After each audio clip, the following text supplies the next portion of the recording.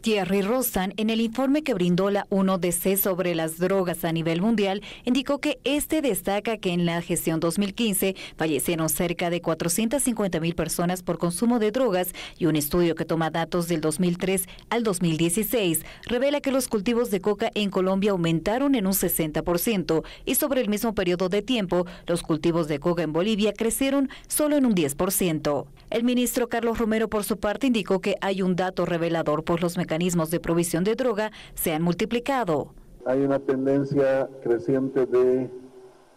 eh, vulnerabilidad en la población más joven especialmente. Y hay también un dato bastante revelador, el hecho de que eh, los mecanismos de provisión de droga se hayan multiplicado y se utilicen eh, el Internet, las comunicaciones virtuales, las tecnologías modernas de información y comunicación para eh, ofertar y, vender droga. Igualmente preocupante el avance de eh, la droga sintética, Indicó que se encuentran cifras preocupantes sobre las drogas, pero también las decisiones que se han tomado en la comunidad internacional son las adecuadas.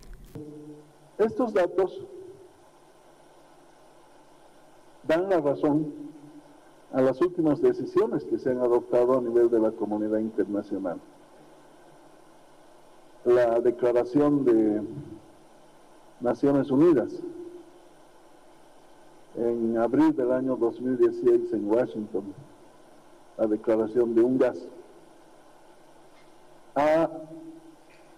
reelaborado el enfoque de la problemática de la droga. Y es un enfoque de salud pública, de preservación de la salud pública de la población. Y bajo ese enfoque eh, propone trabajar de manera mucho más eh, intensiva en las medidas preventivas a través de las instituciones, especialmente naturales de eh, la sociedad civil, la familia, la escuela, el vecindario, donde sin duda los medios de comunicación juegan un rol fundamental